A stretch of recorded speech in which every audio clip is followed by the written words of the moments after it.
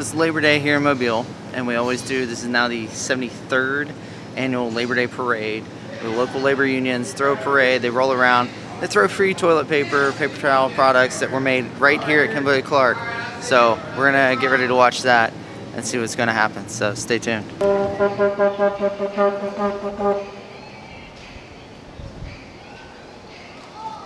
Hit it! That's what I'm talking about. Wait!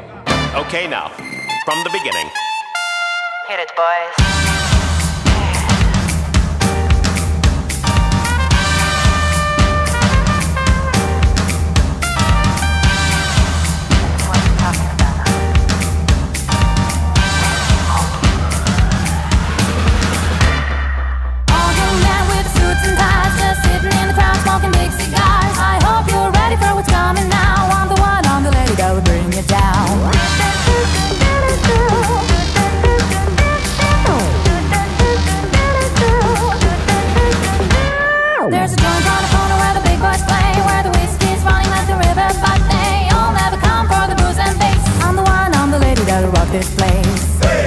That'll rock this place.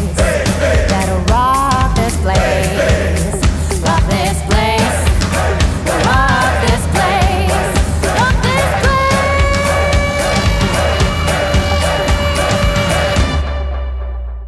Alright, so parade wasn't that bad. Um, weather was actually a lot nicer than projected.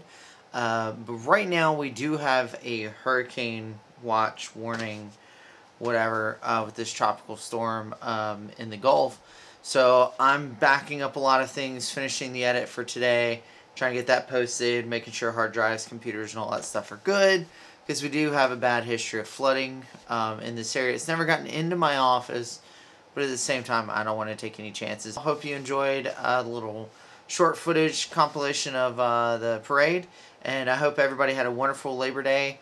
Um, if you did, and you know a labor per, uh, union person, definitely say thanks to them. Carpenters, your electricians, your plumbers, your pipe welders, fitters, all those guys, everybody else, all the unions, thank you very much for what you guys do.